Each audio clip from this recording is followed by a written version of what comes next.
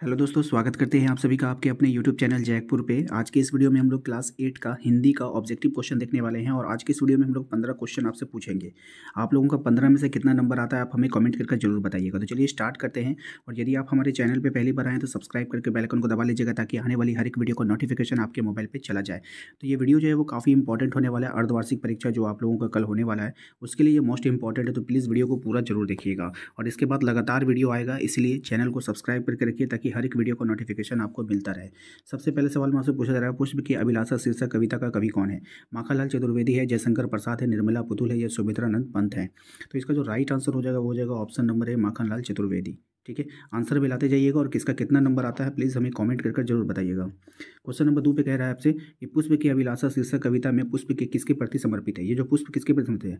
मातृभूमि और वीरों के प्रति है, किसानों के प्रति है, देवी देवता के प्रति है, सूरबला के प्रति है। तो राइट आंसर हो जाएगा मातृभूमि और वीरों के प्रति। ऑप्शन नंबर ए हो जाएगा, ठीक है? क्वेश्चन नंबर आते हैं तीन पे। क्वेश्चन नंबर तीन में कहा जा रहा है कि पुष्प क्या नहीं चाहता है?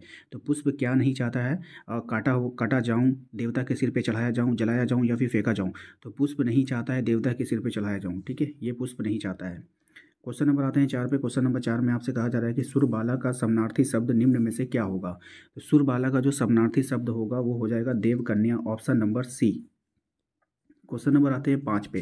क्वेश्चन नंबर पाँच में आपसे कहा जा रहा है, पुष्प की अभिलाषा किस प्रकार की रचना है? ये जो पुष्प की अभिलाषा है, वो किस प्रकार की रचना है? तो ये देश प्रेम की रचना है, ऑप्शन नंबर ए हो जाएगा। क्वेश्चन नंबर आते हैं सिक्स पे, कह रहा है, पुष्प की अभिलाषा कविता में पुष्प की क्या इच्छा है? तो पुष्प की अभिलाषा कविता में पुष्प की इच्छा है कि मातृभूमि के वीर सपूतों के पथ पर बिछ जाना, ऑप्शन नंबर ए हो जाएगा। क्वेश्चन नंबर आते हैं सात पे। क्वेश्चन नंबर सात में आपसे कह रहा है देव कन्या के गहनों में कौन गुथना नहीं चाहता है? तो देव कन्या के गहनों में कौन गुथना नहीं चाहता है? तो पुष्प। ऑप्शन नंबर सी हो जाएगा।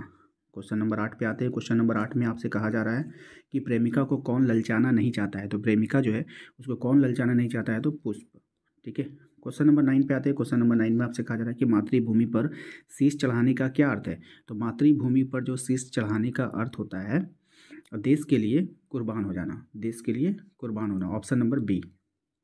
Question number दस पे आते हैं। क्वेश्चन नंबर दस में आपसे कहा जा रहा है कि भाषा मंजरी पाठ्य पुस्तक में माखनलाल चतुर्वेदी द्वारा रचित पाठ का क्या नाम है? तो इसका जो नाम हो जाएगा ना, वो क्या हो जाएगा? देश प्रेम। क्या हो जाएगा?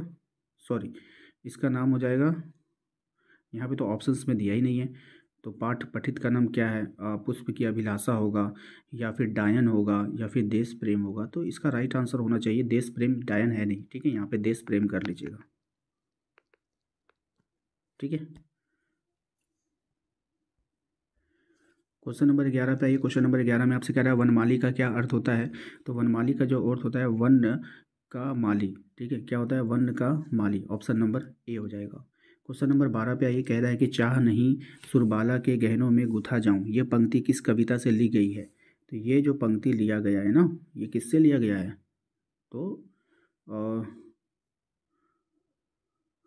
सॉरी ये जो पंक्ति लिया गया पुष्प की अभिलाषा से लिया गया किससे लिया गया पुष्प की अभिलाषा। ऑप्शन नंबर डी हो जाएगा। ठीक है? क्वेश्चन नंबर थर्टीन पे आइए। क्वेश्चन नंबर थर्टीन में आपसे कह रहा है पुष्प की अभिलाषा हिंदी साहित्य की कौन सी विद्या है?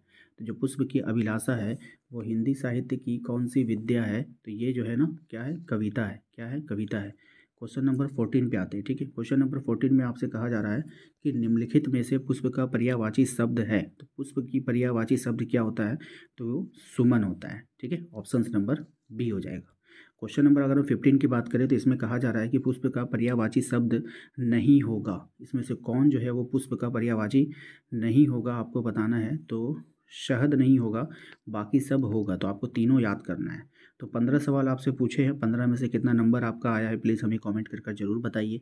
यदि आप हमारे चैनल पे पहली बार आएँ तो सब्सक्राइब करके बेल आइकन को दबा लीजिए, ताकि इस तरह के वीडियो का नोटिफिकेशन आपके मोबाइल पे चला जाए। मिलते हैं अगले वीडियो में। Thank you